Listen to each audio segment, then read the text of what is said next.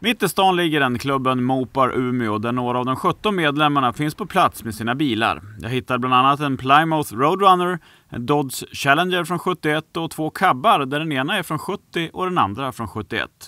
Och en röd Dodge Coronet som frontar entrén bakom den här gröna Chryslern med matchande ljusgröna brillor. Och sen rullar det även in en sprojlans ny Hellcat som är betydligt nyare än de andra. Men det är inget problem.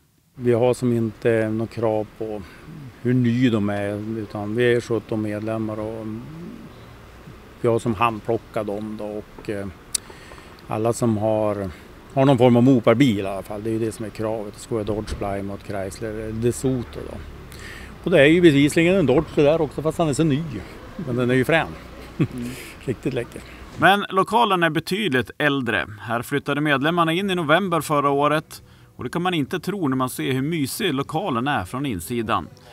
Genren går såklart i mopar och alla bildetaljer och delar som finns både uppställda och upphängda överallt i lokalen skulle få vilken moparfantast som helst att vilja flytta in. Men klubben kommer måste flytta ut inom en snar framtid då hela huset ska klubbas ner. Vi har ju drivningskontrakt på den här lokalen och eh, vi vet, vi visste ju om det redan när vi hyrde här så att eh, vi kommer att måste flytta tyvärr men det är ju en väldigt bra lokal. Den är ju central och det kan ju nästan inte bli bättre än så. Det, det som saknas är garageplatser och det har vi ju inte utan det är mer som en, en liten nöjeslokal för oss medlemmar. Då. Men vi, samtidigt vet vi om det men det kommer ju inte att bli kul, det är det ju inte. Men... Det verkar vara ett väldigt glatt gäng och det är ju tjejer med också. Ja, vi har vi har ju som medlemmar, så vi är 17 medlemmar och då har vi, det är två kvinnor med, Karina Granberg och Maria Lundström. Och eh, de har ju då Chrysler-bilar bägge två. Då. Klubben arrangerar även aktiviteter då och då och den här dagen så körde man tävling med moparbilar i den mindre skalan. Idag var vi hos Karin och hade bilbanerace med, med bilbana med Scalectic-bilar så det var riktigt, riktigt kul. Vem vann? Ja, det var faktiskt eh, Stefan Bergströms sambo, eller fru eh, Hanke som vann. Tjejer de kan alltså? Ja, jag tror att eh, killar gasar lite för mycket när det gäller den där sporten. Så att, nej, hon var riktigt duktig. Hon var vass på det där. Men hur vass är egentligen deras egna bilar och vad vet medlemmarna om varandra? Jag gav dem chansen att bolla bil och medlem där ordföranden Erik blir först ut. Min eh, Dodge Challenger här som jag har haft sedan 2012 och köpte den från Kalifornien. Eh, det är en 71 RT med en 383 i. Du ska få bolla över till, till någon annan ägare här mm. och vem vill du bolla över till då? Ja men då kan vi ta Stefan Bergström för han är ju han är Mr Mopar kan man säga. För att han, han kan allt om de här bilarna. Och, eh, han är en sån här som vet ja, men vad det ska stå för kod på den här lilla glasbiten för att det ska vara rätt grej. ja, allt var väl att ta i men eh, lite grann vet jag väl. Så är det. Varför detta intresse för just mopar? Ja, Moparbilarna har alltid varit legat en varmt om hjärtat i många, många år. Jag köpte min första där jag var 16 år så att eh, därav har det spunnit vidare på det helt enkelt. Var det här en bil som du funderade på att köpa på redan när du var liten eller det man slump att du köpte den? Nej, det var väl Källinger som låg med varmt om hjärtat. Jag har haft två tidigare också innan kupéer då så att eh, så de har legat med nära. Mm. Eh, sen fick jag reda på att du förlorade mot en tjej i finalen idag på bilbaneracet. Ja, det stämmer faktiskt ganska bra det och det var ju min fru också då så att eh, det blir eh, hårda bataljer ikväll kanske. du ska också få bolla över bil och du har valt den här röda. Jajamensan, det är ju då min kusin Anders Söderman och eh, han har ju då köpt den här nyss här för att han har ju även en eh, 68 Coronet som han aldrig verkar få ut. Det tar en väldig tid att få ut det där. Det stämmer bra det. Det här är fruns bil som hon köpte i våras för hon var less och väntade på att han skulle bli klar den andra bilen som har hållit på med i fem år men det närmar sig. När kommer den ut? Förhoppningsvis 2016. Okej. Okay. Ja. Vad kan du berätta om den här bilen då? Det är ändå liksom en bil som du egentligen inte, ja om du vet, vill köra så. Nej, men det som är lite roligt med den här bilen det är ju att han är helt original då med en 318 Big Block Polly. Och det sitter ju mycket de här början av 60-talsbilarna. Och den här bilen heter ju Dodge Coronet 440 då. Och många tror ju att det ska sitta en 440 motor i men just de här, de heter 440 bara just av modellen. Med lister och utstyrsel. Nu ska du också få bolla över och då har du valt den här röda bilen. Jajamän. Jörgens Källinger Cab. Vad är det du kan säga om Jörgen då? Ja, han är ju väldigt noga med sina bilar och han skulle ju egentligen vilja ha en annan färg än vad han är nu. Han är ju, ska ju vara original guldfärgad. Och det är ju någonting som han gräms över och skulle vilja göra.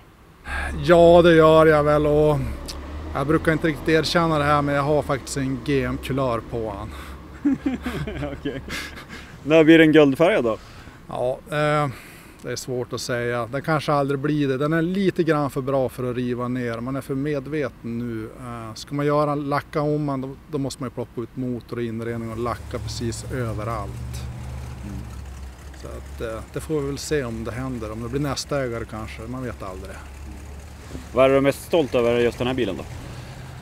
Ja, det som är lite kul med den här bilen, dels så är ju uppgraderad med en riktig 440 sixpack motor och så är han faktiskt nysåld. Det var en Saab ANA-direktör som köpte den här ny i Sverige 1971, så det är lite unikt. Du ska också få bolla över och du har valt den här nya Hellcaten. Varför då? Ja, det är ju Johans nya läckra Hellcat, den här extrema nya bilen på 707 hästar som han höll på att krocka med idag här. Det låter intressant. Varför blev det så? Ja, han berättade just här för en stund sedan och jag hann inte riktigt höra historien klart men eh, han, det var en bil som genade över en korsning och han fick göra en panikväjning. Ja, det, det varit en riktig hjärtknipare. Det var någon galning som höll på att preja med i en rondell i säkert 80 kilometer. Så att eh, man fick sätta sig och andas en stund efteråt. Lite för dyr att krocka med den här bilen eller? ja, och förmodligen väldigt svår att ersätta.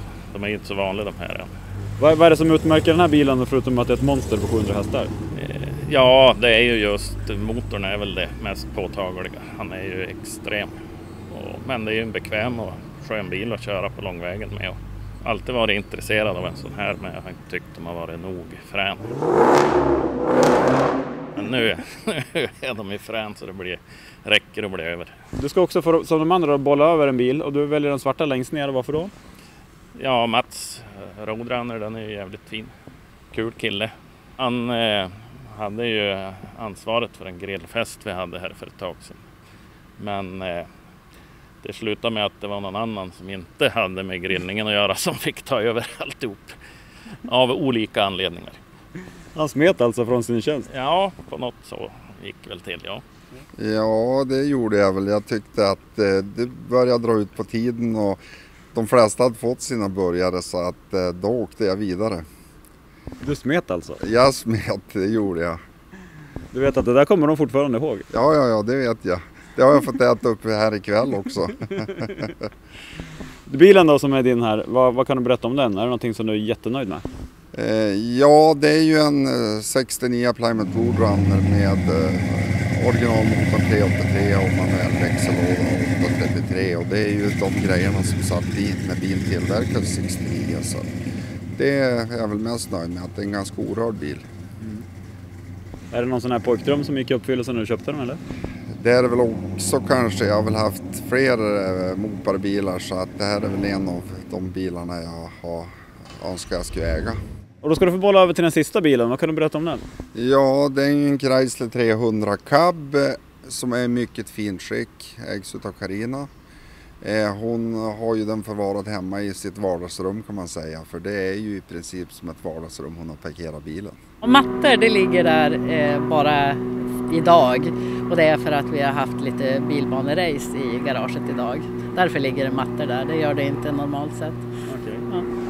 Bilen din här då, den, eh, ja, den är ju väldigt grön, Piggelingrön typ. Vad, Yes. vad kan du berätta om den? Ja, det är en Chrysler 300, en 66 Det är ju sista årgången som 300 tillverkas.